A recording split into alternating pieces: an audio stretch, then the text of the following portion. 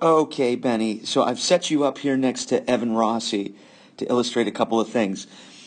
Uh, I thought it would be easy, just a lot easier to, to do this via video. So you can see where Evan's set up, um, how he, how where his bat is relative to the green line, how straight his barrel is, and how it's almost right between his eyes, and how much he's got his weight already on his inside leg. As you look here, you can really see the difference between how he's got his bat in line with his head and the how you do. And being down like this it's going to be a little bit of tension going to the ball.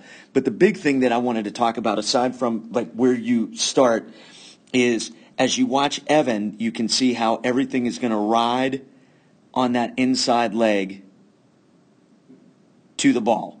And you can see as he does that his butt goes down. As you get set up here, you can see how you have all of this top half action, but you can see as you watch your butt how it goes back, right? We really want to be on that inside leg and moving to the ball versus going back and reaching. And again, like when the machine's throwing it in there 30 miles an hour, like everything is easy, right? You, you, you, you know, you can easily bunt that way off of that. It's just like, you know, hitting off of flips.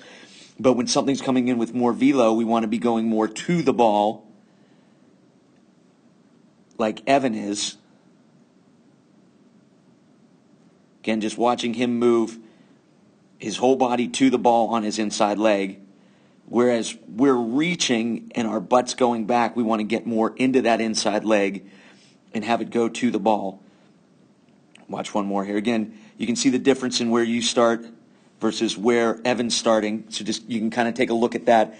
I just thought that was a real good visual to show where you should be starting when you're squared around. And then again, on a pitch that's low here, you, you, you can have success when the ball's coming in this slow, but when it's coming in hard, you can see your butt's going back and you're getting a lot of reach. Where again, we want to be into that inside leg, riding it down, but going down. Whereas we're just getting arms reach, butt back, and you can see the difference. I know that Evans pitches up a little bit more. I'm, I'm not going to roll forward till I get to a low one with him. Let me see if I can. I think the next one's the low one. Yes. Yes. Okay, good. So again, here's Evan on a low pitch. You can see the position that he's gotten into, whereas you've got a lot of arm reach, right, and see the position that you've gotten into. So, like I said, I wanted to coach this up on film. I know it's your first time bunting, and I thought that this would be helpful to see, number one, how you set up, and number two, how you make some different movements.